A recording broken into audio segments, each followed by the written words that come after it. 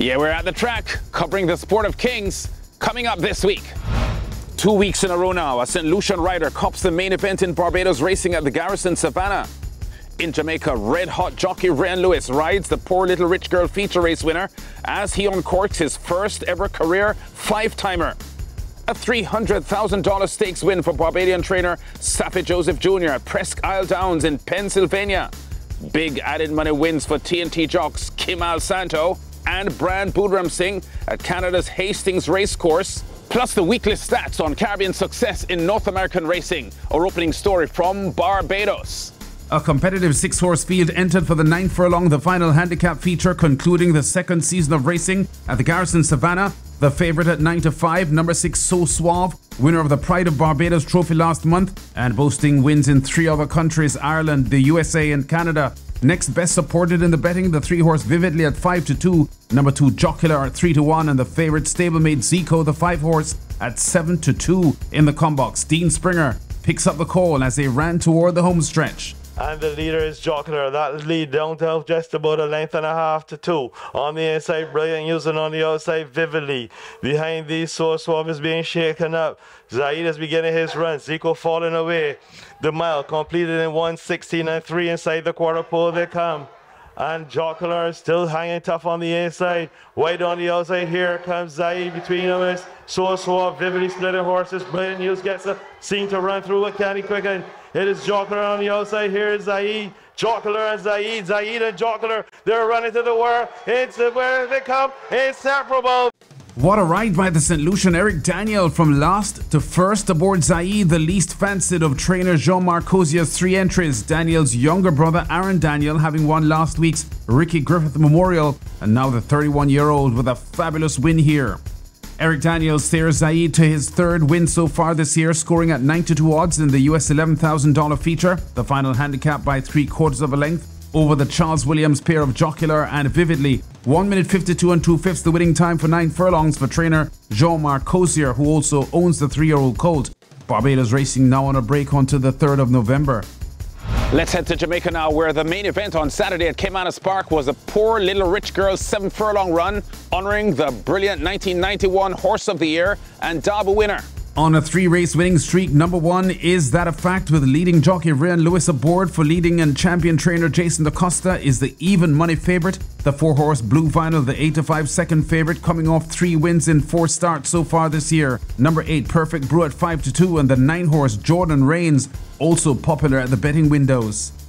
With a combined total of six wins from eight starts this year, the favourite is that a fact and second favourite Blue Vinyl setting themselves up here for the stretch run, the favourite in front. But Blue Vinyl, last year's 2000 Guineas and St. Leger winner in third and closing. Watched in the combox by Bran Rickman OD. Is that a fact continues to lead up by some two and a half lengths. Jordan Reigns and Blue Vinyl continue the chase. Perfect Brew just in behind them. Five lengths separates them as they leave the three. A gap of six to the head cornerstone. Two lengths in behind Sweet Majesty. Asked to go down against the rail. Outbidder toward the back along with a Regal and Royal as they turn for home at the top of the lane in the poor little rich girl. And it is is that a fact who continues to hold that lead. Perfect Brew and Blue Vinyl now let loose and asked to close the gap. Is that a fact coming under some pressure and the rider now calls for the stick in the left hand as they run past the furlong pole. Blue Vinyl now finding top stride as inside the final 16th. Is that a fact beginning to run on fumes? Blue Vinyl charging over the outside. These two bobbing noses to the line. It could be. Is that a fact? Is that a fact? Fights off Blue Vinyl for the narrow win in the ninth race feature. Reyan Lewis's best day in the saddle ever in wins. His fourth of five victories this on the card. The 23 year old would land the 10th as well for his first ever five timer. Carlton Watson's Is That a Fact? Brilliant and courageous for her fourth win in a row. As the even money favourite scoring by a short head over Blue Vinyl in the Poor Little Rich Girl clocking 125 and 2 fifths for seven furlongs for trainer Jason DaCosta, who had a four timer on the card and also had a win at Thistledown in the USA this week. To that Saffie Joseph Jr. story now. What a past three weeks the Barbadian trainer has had, winning the late August $1 million Charlestown Classic, followed by the $500,000 One Dreamer Stakes and this past weekend, the $300,000 Masters Stakes at Presque Isle Downs. For the Grade 2 event, jockey Edgar Zayas took Saffie's three-year-old filly, accomplished girl, to the front from the start, going six and a half furlongs against more fancied rivals.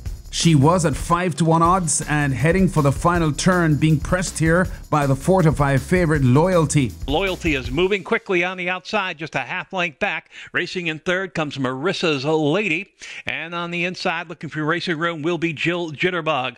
As they head around the turn into the top of the stretch, Accomplished Girl trying to hold off the big favorite. Loyalty right there on the outside. Down the center of the track, Marissa's Lady races in third, up the inside. Midnight Stroll in with a chance. Then comes Jill Jitterbug down the center. But it's all accomplished girl Edgar Zayas in town trying to hold off Midnight Stroll, who's coming quickly with Jose Ortiz. On the outside, Marissa's Lady is there.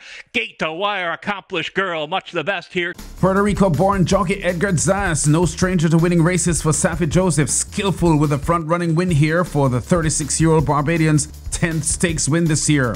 Accomplished Girl holds on to score in the Master Stakes by three quarters of a length, clocking 115.29, going six and a half furlongs for her third win in six career starts.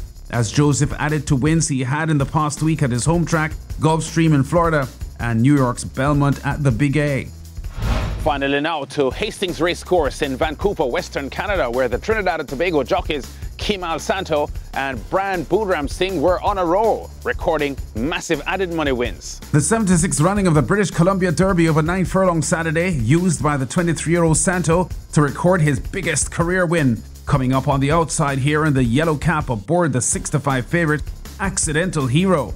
As they race to the top of the lane, eighth of a mile, to go in the BC Derby, and Sunbird and Accidental Hero, they're right together. Accidental Hero now pops ahead in front, but Sunbird is game on the inside. It's Sunbird, Accidental Hero. It will be Accidental Hero to win it. A fine, confident win coming from behind this from Santo. He's already accomplished a lot as a young rider. In 2020, Santo, as a 20 year old, became the first ever apprentice to win the Trinidad and Tobago Triple Crown, scoring with Wise Guy and in only his second full season in Canada, logs a big one here, the British Columbia Derby. Oh, this one means a lot. And I must say thanks to the Win Stables and the connections, everyone, for believing in me and giving me a chance to uh, achieve these things. Santo won the BC Oaks last year for the same connections, owners Win Racing Stables and trainer Larry Grieve and now cops the even bigger $125,000 BC Derby. The 6 5 favourite, Accidental Hero, scoring by a head over the 7 5 bet, Sunbird clocking 150.05 for 9 furlongs. Third to the 5 1 shot, Space, ridden by TNT's Brian Boodramsingh, who did not leave Saturday's card empty handed as in the sixth race, Jack Diamond Futurity Stakes for two-year-old colts and geldings, the eight-time TNT champion Boodramsingh made it gate to wire in an upset score aboard the 12-1 shot Wealthy Texan. As they turn for home, it is Wealthy Texan with the lead, and down the lane they come. Wealthy Texan leads it by two. Vector in second, Northern Force third. Deep stretch now. It's Wealthy Texan by three. Wealthy Texan wins. In his first season in Canada, Brian Boodramsingh, champion jockey at TNT Santa Rosa Park the past four years in a row, gets a second stakes win this season in the land of the Maple Leaf. Wealthy Texan wins on debut by two and three quarter lengths under Boodramsingh at 12 to 1 odds, the third longest shot in the field, covering the six and a half furlong Jack Diamond run in 117.80. Our usual weekly tally of wins now for Caribbean racing men in the USA and Canada. Before we go, I've counted since our last show in the past week a whopping 81 wins. Among them, the Barbadian jockey Rocco the Jocker born with four wins at Emerald Downs, two at Thistledown, where the Jamaican jockey Robert Hardball Haddadine had three wins, as did the Barbadian rider Rico Walcott at Woodbine. Stakes wins at Central Downs for the Jamaican jockey Dane Nelson and the Barbadian Demario Bino. Bino also with stakes success at Assiniboia Downs, along with the Barbadian trainer Devon Gittins, Jamaican jockey Chavian Chow, and the Barbadian rider Siobhan Bell. The Barbadian Antonio Whitehall closing the season at Assiniboia Downs as champion rider. We've been at the track covering top stories and exciting races in the sport of kings. Check us out again next week.